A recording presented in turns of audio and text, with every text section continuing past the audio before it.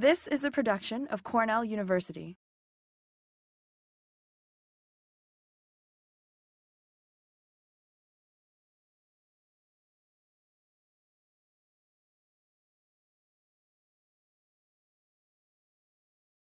What I'm going to talk about today, the, the sources of uncertainty in future climate change projections. And um, as some people would say, uh, maybe the sources of certainty also in, in, climate change projections, that the, that the way that the scientific community is communicating what we know and we don't know um, may be leading um, some people to, uh, to um, delay or to pretend that that's why they're delaying is because of the uncertainty. So I'm going to talk a little bit about what the sources of uncertainty are in, in future climate change projections here. Um, as uh, David said, I'm uh, um, trained in atmospheric science, but I do a lot of work that's uh, kind of a, a coupling um, in the Earth system, as I would call it. What I have here uh, on the background is actually a slide from the IPCC, and I'm going to talk to you a little bit about the IPCC to begin with. How many people don't know what the IPCC is? It's the Intergovernmental Panel on Climate Change, okay? So keep working on it until you can say it that fast, all right? And um, the Intergovernmental Panel on Climate Change is set up by the UN Environment Program and the World Meteorological Organization, okay? Meteorolo meteorological organizations have been um, organizing themselves and passing data for a while because weather, of course, goes across borders. And uh, this particular panel is a science-oriented panel, and what they do uh, is uh, put together assessments of the state of the science. An assessment is really a consensus document about what the state of the science is. There's nothing radical in an assessment report or that was a mistake. I mean, it's really very much a consensus. There's not very much new in there. There can't be anything new. It has to already have been published. Um, and so uh, I, I, was a lead author in the um, working group one, which is the physical science part, um, during the last assessment report, AR5, the assessment report number five. And uh, one of the things that our, we were tasked with doing is going out and talking about what was in that report. And so um, they gave us these cute little slides with the background and everything. So that's what I'm going to use for some of this presentation. This is the group that was involved in the assessment report from the working group one. There were three different working groups. This was the first working group, which is on the physical science basis. You can see that there's about 250 of us who were involved in the writing of this document. And I used to carry them around, but now they're, they're too big. It's about 500 pages. It's, you know, good five pounds or something like that from each working group that's assessing the state of the science. And um, so all uh, 250 of us um, gathered four times in the writing of this document, and there were, uh, let's see, well, the summary for policymaker was only 14,000 words, but there were 14 chapters and 55,000 review comments from experts. So the experts are anybody who considers themselves an expert. Okay, so if you guys consider yourself an expert, you can sign up and review the next IPCC document as well.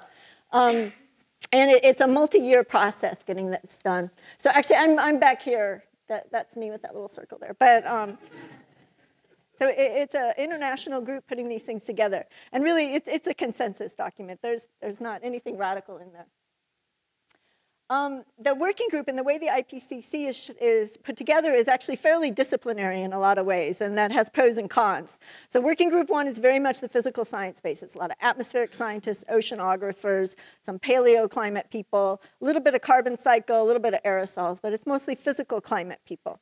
The working group two is the impacts, vulnerability, and adaptation group. And that's a, a little bit of a less organized group, but it would include ecologists, public health, people, uh, infrastructure impacts, um, and then vulnerabilities. So that would be a lot of social scientists from the human side, as well as uh, agriculture on that. Um, the working group three is the mitigation. So that's often the economists and engineers talking about what we can do to solve the problem. And um, so the, the documents are a little bit disciplinary, and I think there's some pros and cons to that in that it organizes each of the, the different documents to really be nice consensus documents, but sometimes there's not as much communication as you might like between the different parts. So um, I'm actually uh, just been chosen to be on a cross uh, how, do, how do they phrase this? It's, a, it's, it's across the, the working group structure to look at a special report on the 1.5 degree, the possibility of getting to 1.5 degree, what the costs are, what the um, benefits are. And so it's, it's actually across a working group structure. So sometimes they have special reports where they have physical scientists talk to engineers and economists. It's very strange. But, um, but some of these reports are some of the better reports. For example, the special report on extremes was a really nice report they put out a couple years ago. So uh, one of the things, one of the reasons I talk to you so much about the IPCC is I think you should try to look at some of their documents, especially the summary for policymaker, because it really is a consensus document, and it's really just talking about what is climate change and what the impacts will be. And go to the primary literature and find out what a really very mainstream group of scientists think is going on. And I think it really uh, would help uh, clarify what, what we really do know and what we don't know about the whole problem. So last fall, this is from uh, September 4th, 2016, there was this New York Times um, front page. And I don't know how many of you actually get physically the New York Times anymore. We only get it on Sundays.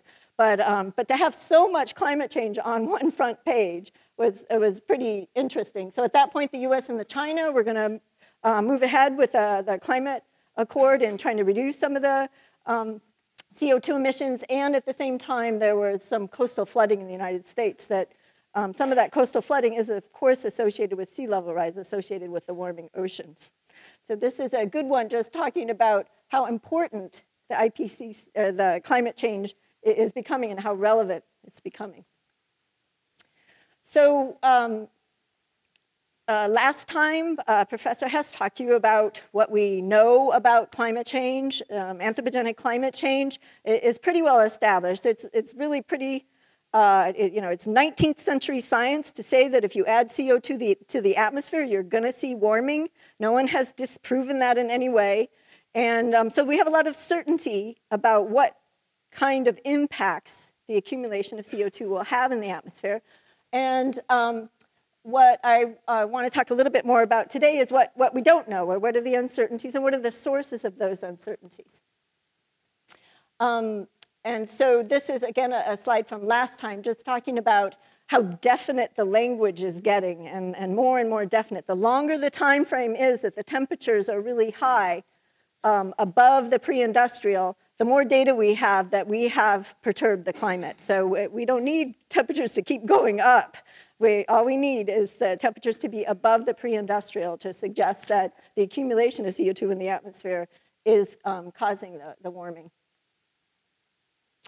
Um, one of the, the um, methods that we use actually to take a look at climate change is we, we use climate models. And I happen, um, in my background, I use the climate models a lot. And the climate models are basically weather prediction models um, that uh, um, that we all know and love, or we see the results of every day in terms of the weather prediction, um, and then apply to a longer time period. And so um, one, one thing I'm not sure that people understand is that meteorology is a field that came out of weather prediction for, for example, military um, efforts, okay? A lot of the United States departments were established during World War II. For example, the department I was I come from the meteorology department at MIT, was one of the places where the Air Force produced a lot of the meteorologists.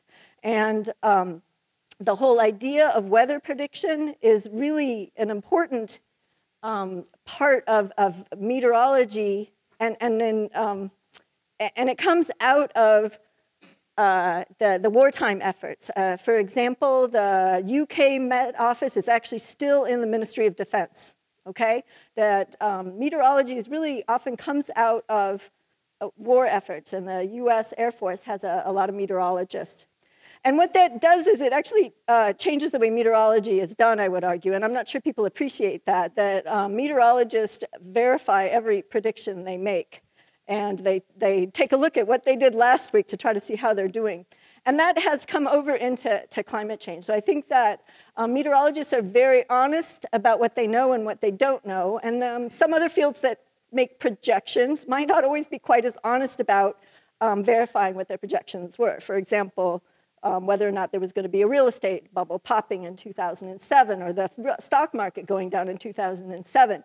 Um, some of the different disciplines do not go back and check and see why they made a mistake in those times, whereas the meteorology field is very much into verification. And, um, and uh, one of the things we do is with these climate models, we do uh, short-term predictions. They're the same models, basically, you do short-term predictions with, and then we do longer-term predictions as well. Now, there's some differences between short-term and long-term predictions, which I hope to get to. Um, I don't want to talk about that. So uh, uh, last time, um, Professor Hess talked about the differences in the, in the future and, and what kind of climate change we might be seeing. For example, uh, if we go ahead with, one might call it business as usual, it's called RCP 8.5 here, um, we might have a four degree globally averaged increase in temperature by 2100, or if we do something like RCP 2.6, the lowest trajectory that we included in the last IPCC, where we're carbon neutral by 2070, we'd have a much smaller increase in temperature, only one degree increase in temperature there. But what was a little bit hidden in, in that slide that he presented is actually that, you know, we're, there's some spread in how much we think the future temperatures might go up, even if we're um, thinking about, for example, here we are at 2000. This is 1850, 2000, 2100, 2200, 2300. Global surface temperature is the vertical axis. At 2100, there, there's actually some spread in where we think climate may go. And so while we're certain that adding CO2 into the atmosphere is going to warm the planet, we're not quite certain how much it's going to warm the planet. So that's often what we're talking about in terms of uncertainty. And then it, it depends where we're talking about it, how much how, how late, you know, how, how much more it'll increase in temperature. So let me ask you then, what, what do you think the sources of uncertainty are for anthropogenic projection, or the projections of anthropogenic climate change going into the future? Five or six sources of uncertainty. Yeah.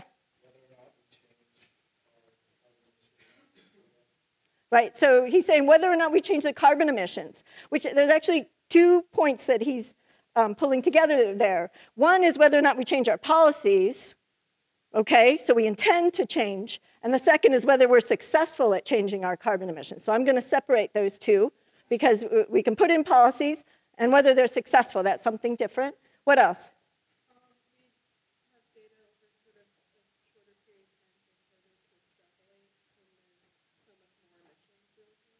This is a really, really important point. And what she said was, right now we just have a, a, short length of time with a certain amount of emissions. And in the future, it's going to be a lot longer time period and a lot more emissions. Okay? So this is the cause of a, quite a bit of the uncertainty. And we're going to get back to that. That's perfect. A couple of other points.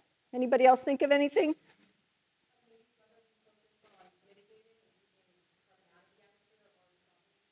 Right. So, so I, I'd put that with the policies, with the, the mitigation, and that, that's a, a really important point, and how we go about it is, is going to matter. So the other part, uh, right? I work a lot on aerosol, so he's he's he's answering the right way. So um, there, it's not always that easy to get from emissions to how much it's changing the, the radiative balance of the planet. And aerosols are a case in point that it's actually really difficult, and we don't understand quite aerosols and their interactions. So, so those are going to be kind of the questions that we're going to go over today um, in talking about uncertainty. Um, and let's see, what, what time exactly am I supposed to stop speaking? Can you tell me? Yeah, I want more than five. I've got a clock right there. What's the, what's the time? So, what is it? 350 right now. Okay, thank you. All right. So this is what I think the different uh, factors are. Let's see, the policies that humans emit, how these emissions translate. Oh, the other one was natural variability. Okay, I don't know if you noticed this, but weather is really variable, by the way, okay? And so it, it depends on what scale you're talking about. There, there, could be quite a bit of natural variability in there. So that's the other part that we didn't talk about already. All right, so when we start thinking about what's going to happen in the future, the first thing we start with is just saying, well, what's going to happen to humans. You know, what are humans going to do? So we, um, for the last IPCC, a group of people put together a set of scenarios, just saying, well, what if population goes up by this, and you know everybody's really nice to each other and they share, and we try to cut CO2. Okay, that's one scenario. That's going to be our low scenario. And what if everybody competes and emits like crazy? That's another scenario. So this uh, particular paper describes all the future scenarios. So these aren't really predictions. We don't usually refer to them as predictions. We refer to them as projections, like if this happened, what would happen? Just so we can kind of get a sense of what might happen to the world at 2100 or 2200. It's a long ways out. We're not trying to predict it really. We're just, we call it a projection. If this happens, this is what's going to happen. So that's what the IPCC is about. It's not about policy prescriptions. It's about analyzing what might happen if this happened. So there all sorts of assumptions. We have to assume population, GDP. You know, I don't want you to to um, get caught up on the details. But there's a lot of uh, guesses we have to make about what might happen and what the relationships are between population and carbon emissions. And um, so they use, in some ways, kind of simple models, and in some ways, fairly uh, uh, sophisticated models, uh, integrated assessment models, to decide what might happen going into the future. Um, and uh, from that, from all this, we, we get these different emission scenarios for CO2 then, and CO2 and methane and nitrous oxide. And so we have these ideas of what might happen going into the future. Once we have the idea of what might happen going into the future, then there's this issue of trying to figure out how those emissions translate into radiative forcings in the atmosphere. And um, this slide, which, which comes from the chapter one, which was the, the one I was the lead author on that we put together, is trying to capture some of these processes that you know, actually the emissions occur as CO2, but about half the CO2 is left in the atmosphere and the other half is taken up by the land and the ocean. And um, a lot of times we just assume that's going to continue to happen into the future, but it turns out it probably won't. That as there's so much CO2 in the atmosphere, it starts accumulating. The land and the ocean are probably going to be less able to take up that CO2. And, and in fact, there's people estimate somewhere between 20 and 35% of the CO2 that we're emitting right now is still going to be in the atmosphere in 20,000 years. I, I, think Professor Hess showed you some slides about that. So there's some feedbacks and some uncertainty in those feedbacks because they have to do with what the land and the ocean are going to do in the meantime. And again, we're, we're, we're planning on hitting, you know, if we go with business as usual CO2 emissions, it's a lot of CO2 we're going to put in the atmosphere, and it's hard to know exactly what's going to happen to all that CO2 as well as the other gases and aerosols. Um, but one, one um, important point to make is actually that, well, maybe this isn't the easiest to see here, but if we say we're here at, at, at 20, this is oh, 2005 is really what this is, but if we, we think of ourselves, you know, 2017, and we're trying to make decisions about uh, what we want climate to maybe be uh, later in the future, it turns out um, the difference between these, these really radically different scenarios here, which I, I called the RCP 8.5 is business as usual, and it's pretty much what we were on until the Paris agreements. Um, and maybe we went down to RCP 6.0, the next lowest one, um, at that point, if people actually go through with what they said they would do, which of course it's doubtful that the US will, but some of the other countries. But, uh, but this, this lowest one, this RCP 2.6 it's called, this scenario is, is a radical scenario, and it's the only way to keep us below two degrees. But pretty much for this particular scenario, everybody has to be a vegan. Corn ethanol has to work wonderfully, okay? We have to be able to shove all the corn ethanol biofuel into the ground, geologic sequestration, without any induced seismicity or loss of CO2 back out, okay? Um, and there's some other questionable assumptions, okay? That's the only way in, the, in, that, in that scenario that we can get to the, the really lower bounds. Now, there's, there's other ways that people have come up with, but it's really, it's a radical change in the whole way the whole economy of the whole world works, okay? So let's just say RCP 2.6 is becoming less and less likely every day, okay? And leave it at, uh, kind of at that. But, but the, the important thing to notice is actually if you go out to 2030 or 2050, the temperature change between business as usual, let's just emit like crazy, and between let's radically rework our entire economy is really small. Basically, today we're making decisions about what climate change we're going to see in 2100, 2200, 2300. We've already mostly made up our minds about what's going to happen by 2050, okay? And so this is an important point that I think people sometimes don't get. And it might be a little bit easier to see in this slide, where, which was prepared in the chapter one of the last IPCC. And um, if you look out here at, at 2030, these are the different estimates of what the climate change will be from the, the last IPCC or these IPCC, and they all overlay out to 2030, okay?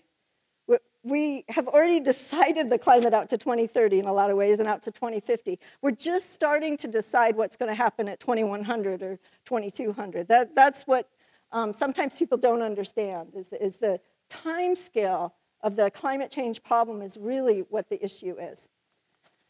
Um, and why is it that, that I'm, I'm telling you that it, you know, we're making the decisions now that will impact us later. Well, it has to do with, for example, the very long time scale of CO2 in the atmosphere that we've already talked about. But in addition to that, the long time scale of infrastructure, okay? We put in a coal-fired power plant. We're spending billions of dollars on that coal-fired power plant, and it better last for 50, 75 years. That's why we put it in. We're, we're not going to take it out of commission, okay? That, that would be a waste of money. And so then you're going to keep burning this, the, the um, coal and produce the CO2 for the next 50 to 75 years. So there's a climate change commitment in the infrastructure, okay? So we have to stop building coal-fired power plants and start putting in solar facilities and wind facilities now to stop future emissions, okay? And so you put in a coal-fired power plant, you've just committed yourself basically for emitting for the next 50 to 75 years. And then that CO2 stays in the atmosphere for a really long time, okay? So this, this problem is a really long time scale problem, and I think it's very hard for people to understand that time scale. Any questions on that or what I've said so far? What do we got here? All right.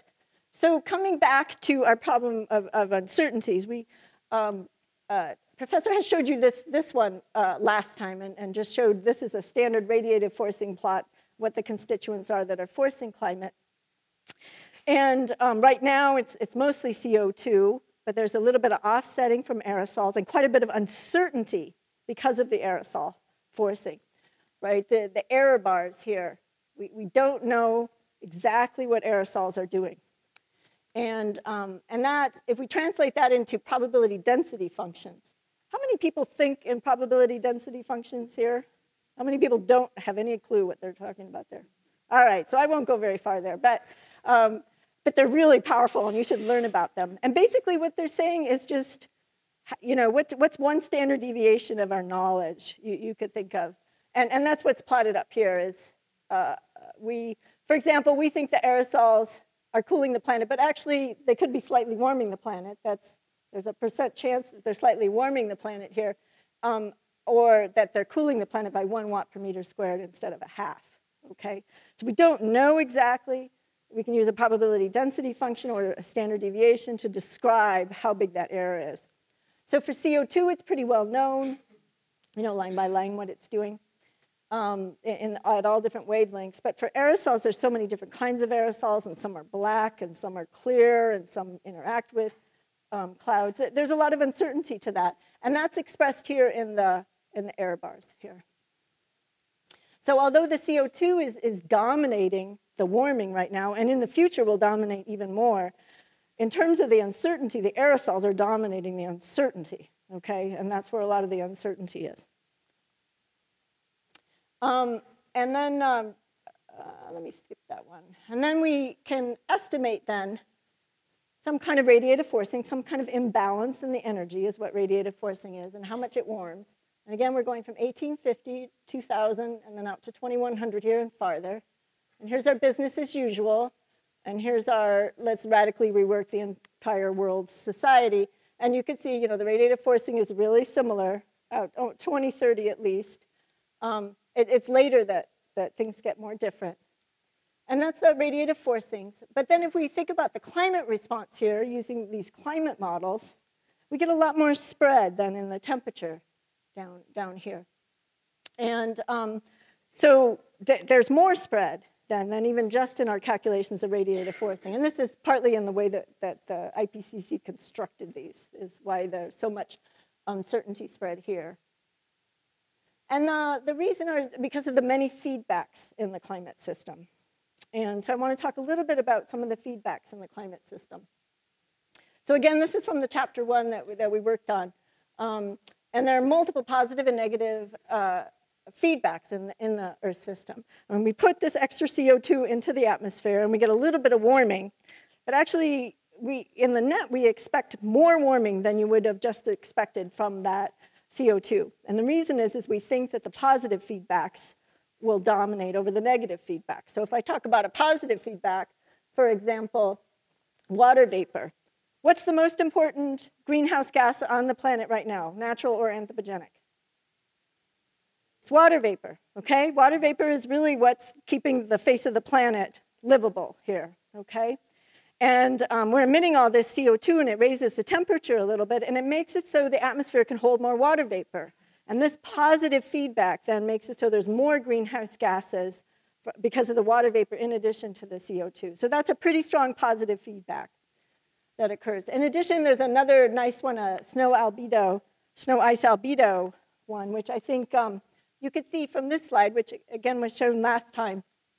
Um, when we just think about the energy budget, you know, the incoming solar radiation, a good part of that incoming solar radiation is actually reflected back out, okay? And it's reflected back out by white surfaces. And if you change how much snow you have, for example, if you melt the snow because the planet's warmer, you will reflect back out less of the incoming solar radiation. So that is a positive feedback. So the snow albedo feedback is one of the reasons we think that there's going to be more warming, say, in high latitudes especially in the northern high latitudes. Um, clouds are really very complicated and they're really, really important for the climate system as well as for us humans in terms of that's where we get our precipitation from. Um, but clouds are very complicated because they're those white things that reflect back out the incoming solar radiation, but they're also really strong um, uh, um, long wave absorbers. So they act like super greenhouse gases, in fact, when they're in there. So it's a really complicated interaction. And, and for climate models, this is actually where a lot of the variability in the climate projection comes from, is how they think the clouds are going to respond in the future. Um, because if you get high clouds, they'll have a different response than low clouds. And it just depends where you're putting the clouds and what the feedbacks are. So in terms of our understanding, if we could figure out what kind of clouds we're going to have in the future, that would improve our ability to make projections. Let's see. All right, in addition, um, you can think about uh, some of the uncertainty in, in, climate response coming from our uncertainty in, in, what's forcing our climate change that we're seeing right now. Um, so here, again, I'm showing you a probability density function. I'm really sorry. Um, but what you just want to look at is how wide this is, because that's basically your standard deviation and your error. And it, this is called your transient climate response. So how much is the climate going to respond, okay? And um, to, to a given uh, change in the radiative budget. And we have a certain amount of uncertainty in, in how much the climate's going to respond. And it turns out that in, in a lot of ways you can think of this coming either from you know, the uncertainty in how the clouds respond in the climate models, or in uh, what, what happened with the aerosols. And the aerosols, we don't know how much the aerosols have changed our um, radiative forcing or changed the energy budget at the top of the atmosphere because we only have one planet, right? This is our problem. If we had like 50 planets, we could figure it all out. We only have one planet and we happen to be changing the CO2 and the aerosols at the same time. So it's hard to pull apart the different pieces. And, um, and so we know pretty well our observed temperature change. And, um, the temperature anomaly here with time. We know pretty well what that is. That's, that's fairly well known. But we divide it by this uncertainty in the radiative forcing, and, it's about 1.5 watts per meter squared, but we have some standard deviation there. And we get then this climate response that we think has happened. But now we're going to multiply that by 10 times that in the future. If we keep emitting the way we're emitting right now, we're going to get these radiative forcings up to 10 watts per meter squared or something. Right now we got 1.6, okay? And so that means, you know, we got a little bit of uncertainty here and we're just totally going to crank on the system in the future when we've only seen a little bit of it so far. And that's where our uncertainty is in, in the climate projections, that, um, that at 2100, we don't know if we're going to get a, what, a one degree increase in surface temperature or a four or five degree increase in surface temperature with the same CO2 in the atmosphere. We're just not sure. And, and that's because we've never hit the system this hard um, before. And so we'll, we'll have to find out. Um,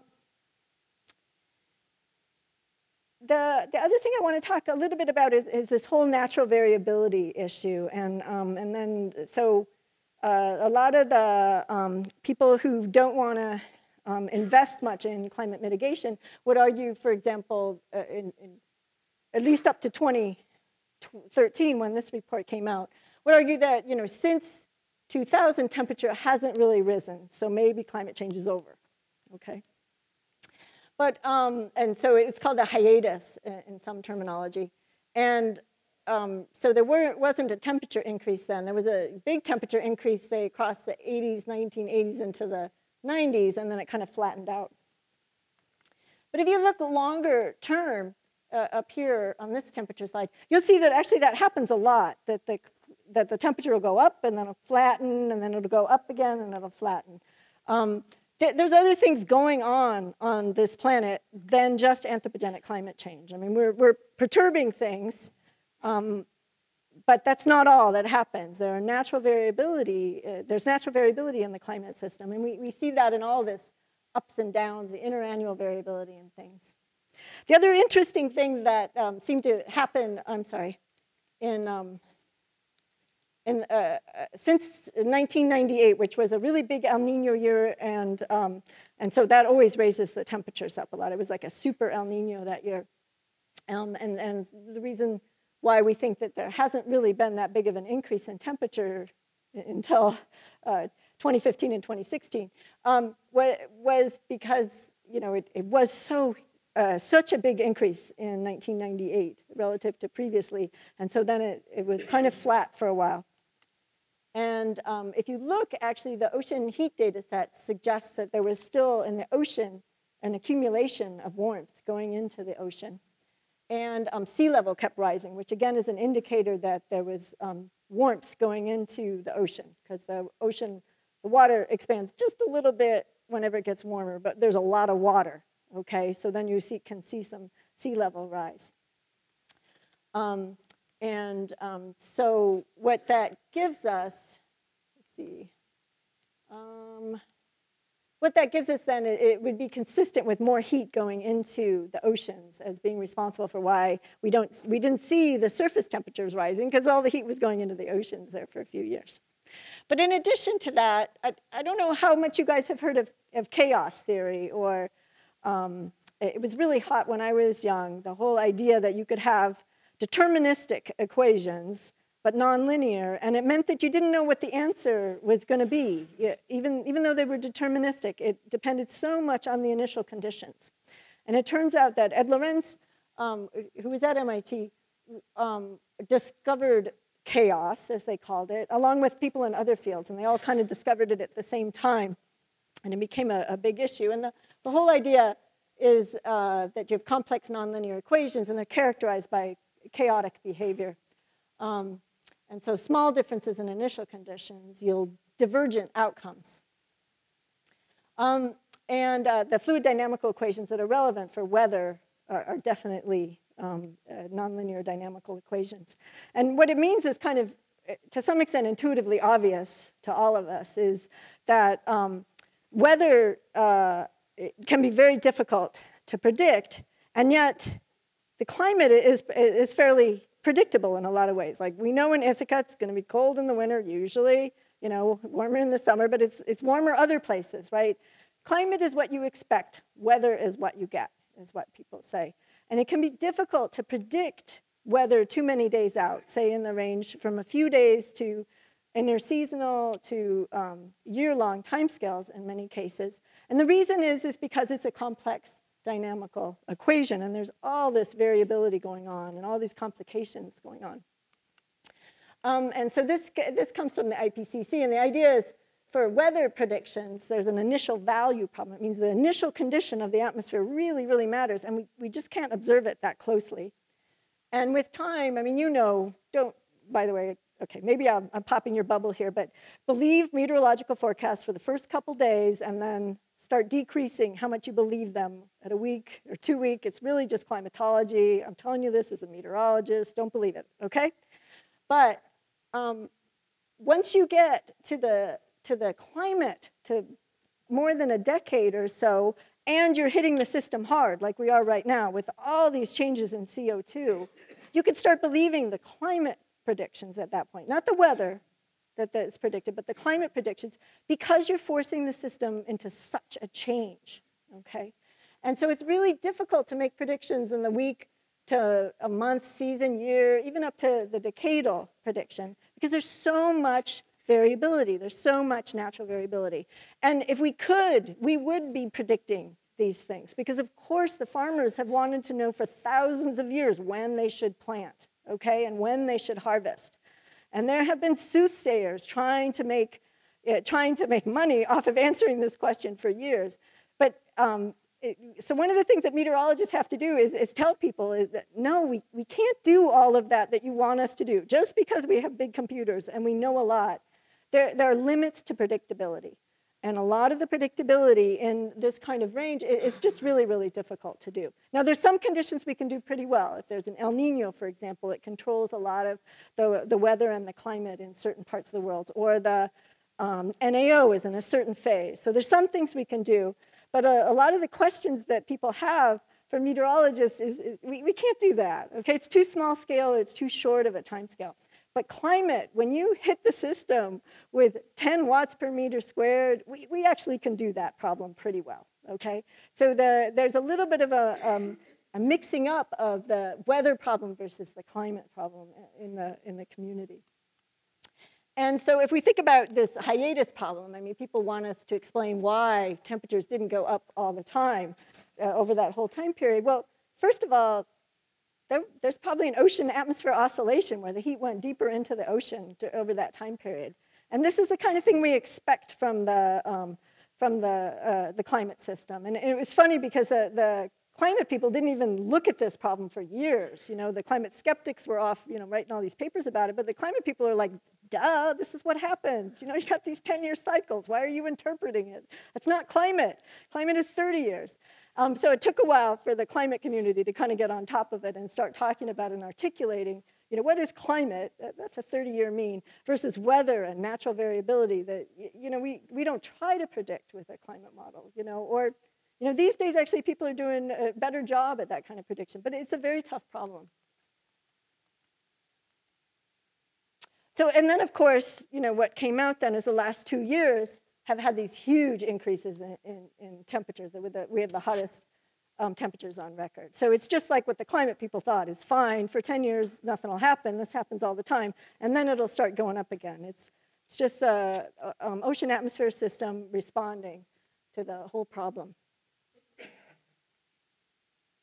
So then if we think about what are the dominant sources of you know, uncertainty in climate or what, what's going to happen going into the future, this comes from the um, frequently asked questions in chapter one that, that I was uh, um, a part of, of, putting together. And it, I think it's a fundamental question we all have is, you know, we, uh, we understand so much about the climate system. How come we don't know for sure what's going to happen at any particular um, uh, at any particular time in the future? And, and so the way to think about it here, here we start in the 1960s and go to 2010, and then out into the 2100 in the future. And these are decadal mean temperatures. So they're not quite the climate time period. It really should be a 30-year mean to get climate. But we have the observations and the observed variability. And then we have kind of this yellow region that's just natural variability. I mean, it's weather, okay? That's what it is. It's going to vary. We, we know that. There's going to be a certain amount of just natural variability.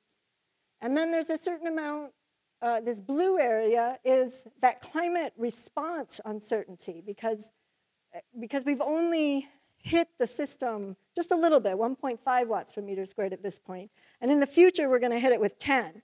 And so we're, we're extrapolating. And so there's a certain amount of error because we don't know that climate response. And then there's this emission uncertainty. You know, and at first it's pretty small because, like we said before, right now we're deciding what's going to happen after 2050 and 2100 and later. We've kind of already decided with the infrastructure we put in, the CO2 we already have in the atmosphere, it's pretty much decided what's going to happen to 2030 to 2050. Um, and so the emission uncertainty, you know, it's fairly small up to 2050, and then it, it starts to dominate once you get out to 2100. So the choices we make become more and more important as we get farther out, okay? Now, a really important point is that the smaller the time period or the smaller the spatial scale, the more natural variability matters and the, and the harder it is to make predictions.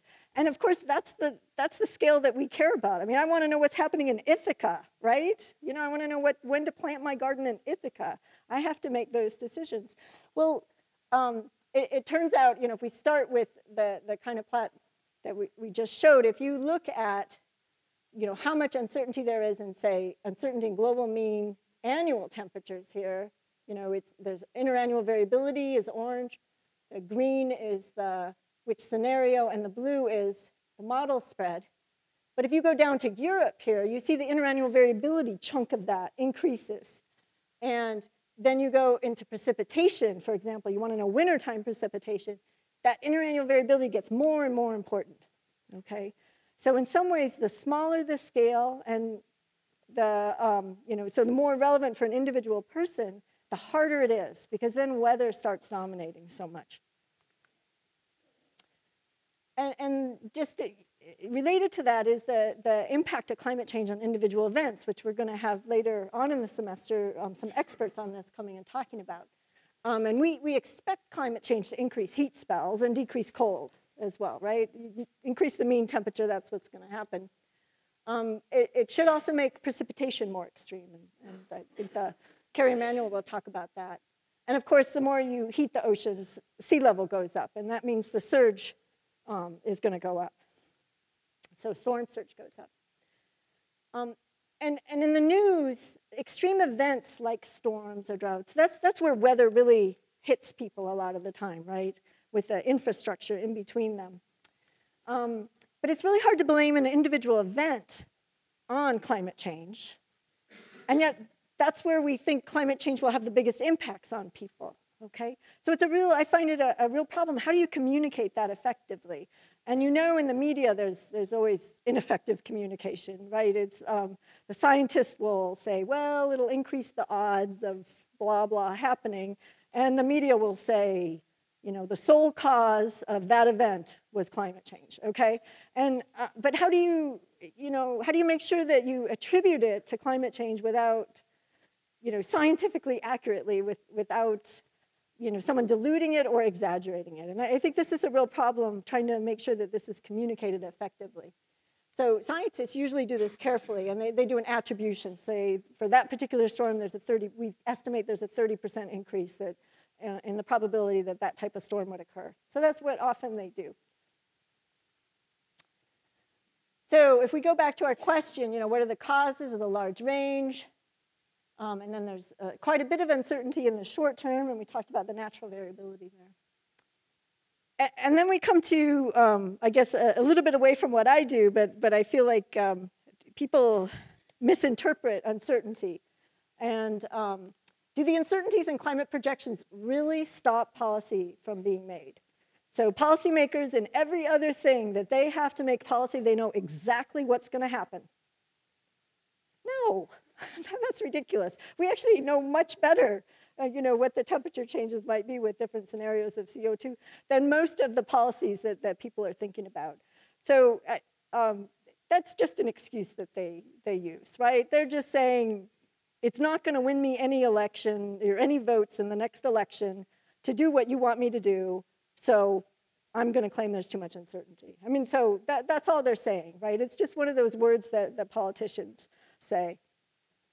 I mean, you compare it to like the federal regulation of banks, they want to pull back all the, the um, regulations that they put in after the 2007 crisis, right? I, you know, how does anybody know what, how that's going to impact uh, the world? Uh, tax rates, healthcare changes. These things are, are even more uncertain than climate change. So that's not really what's holding back climate change legislation. Um, and what, it, what the, what's holding it back is, of course, the, the costs have to be paid for now, right, is what they're thinking of. Costs of mitigation have to be paid for now, and the impacts will be seen maybe in 2050, 2100, and these guys are going to be dead, right? They're not even up for election anymore, okay? So this is the problem with climate change is that the impacts are so far down, and, and you know, it's a, a tragedy of the commons that's intergenerational, um, and so then for any politicians, for them to try to think on the 50-year timescale is really hard. You have to make it kind of today for them to care about. And that's one of the differences. Like in the, in the European Union, they are not fossil fuel producers like we are. So for their energy security, they can get co-benefits for converting to sustainable energy. Or in China, they get co-benefits from getting off of coal because there's such bad air pollution. In the United States, it's a different situation. There's quite a bit of money to be made in fossil fuels. So we have to be aware of um, these kind of arguments and the the uncertainty in the projections are not what is uh, making it so that we don't have policy. But there are, there's quite a bit of uncertainty about climate change. And um, the, you know, we're just talking here about temperatures, for example. But the impacts, we, we don't know uh, as well as we might want to know. And, and again, it's because it's, it, it's gonna, we're going to hit the system pretty hard. So we don't know exactly what the consequences are going to be. Um, so I guess I just want to reiterate, you know, we, we are certain that there is anthropogenic climate change, as certain as we can be without having multiple planets. Um, and uh, the future is going to be warmer. There's going to be changes in precipitation, more extremes in precipitation. We haven't really talked about these here, but you'll see them later in the semester. Um, but uh, there, there are uncertainties in the future projections, but this, this isn't what's driving not having policy on them. It's, it, I, I would argue it's probably this bigger time scale issue that's a, that's a more important issue, and the, the costs. If we had more sustainable energies to put in right away, we would probably be doing uh, more. And, and actually, that's what happened with the Paris Agreement. It was all of a sudden there were these new technologies and, that were available, and so people started moving forward on things. So I guess uh, maybe I'm a little bit pessimistic in some ways about climate change policy and making agreements, and yet optimistic that um, things are moving in the right direction here with, uh, with the Paris Agreement, and hopefully we'll keep moving in that direction. Thank you.